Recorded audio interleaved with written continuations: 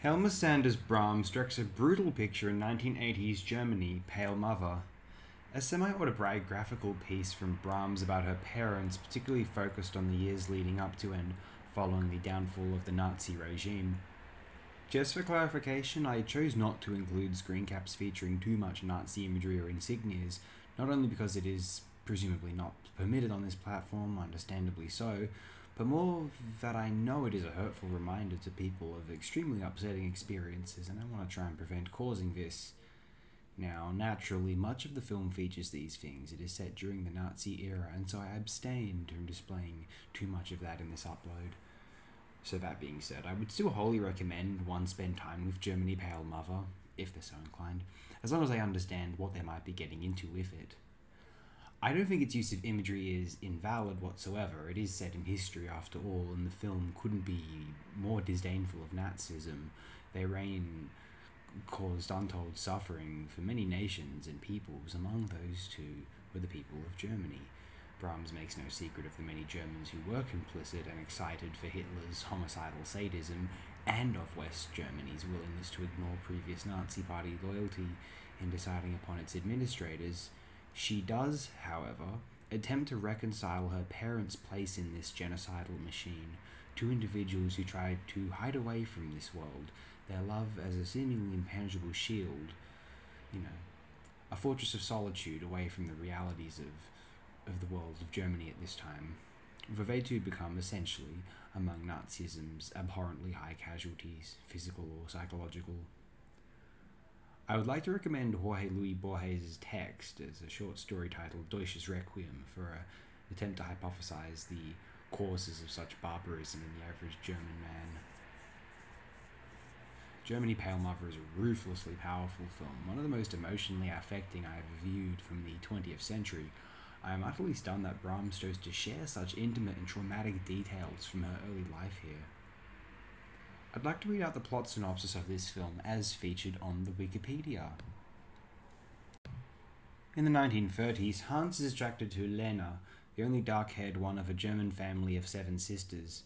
As Hans's friend Ulrich is a member of the Nazi Party, Lena is reluctant to see Hans, but after ascertaining that Hans is not a Nazi, she agrees to see him, and they eventually marry.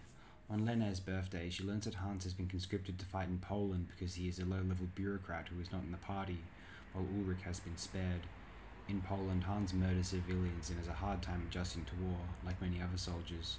When he returns on leave, he and Lene conceive a child, Anna, who is born during an air raid.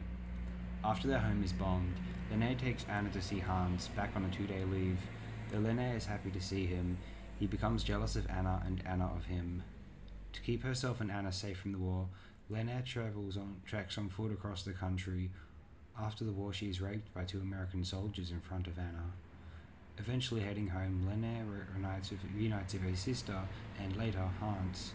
Over time, their reunion unravels as he is continually paranoid that she was unfaithful when he was away. He is also harsh with Anna over her schoolwork, sporadically beating her and constantly criticizing her. After the war, he reunites with Ulrich, who briefly encourages Anna to tease Hans. The teasing breaks Hans' cheerful mood, whose fragility is likely due to post traumatic stress, leading him to beat Anna to tears. Depressed, Lena contracts facial paralysis. Hans comes home, happy about his promotion, to discover his wife's condition. He takes her to a doctor who informs him that all her teeth must be removed to stop the paralysis from spreading. Against her will, Hans, noting that life is more important, orders the extraction. This further isolates and depresses Lena, whose facial paralysis persists, who takes to her bed, withdraws from Anna and wears a veil when she has to go out.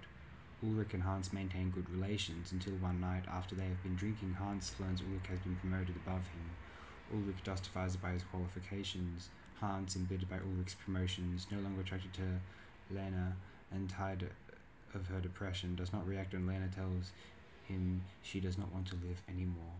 He leaves for work and Lena locks herself in the bathroom, intending to gas herself. Anna cries and begs her to come out, and eventually she does.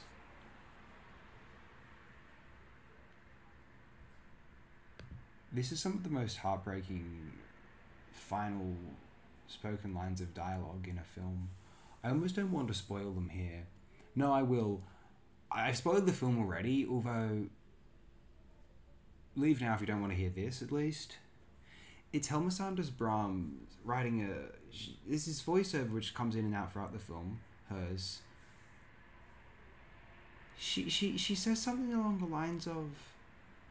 I'll just be clear. I don't know if it's her speaking or if she's gotten another voice actress to speak over to speak the lines. I assume she's written them. Obviously, obviously she's written them. She scripted the film.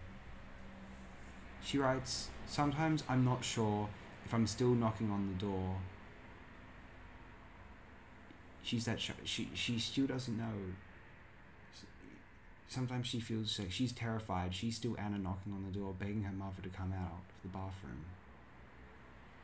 She doesn't know if everything after that is just some dream, some imaginary fantasy she's concocted to convince herself that she will come out and that's what will happen. It's it pierces me.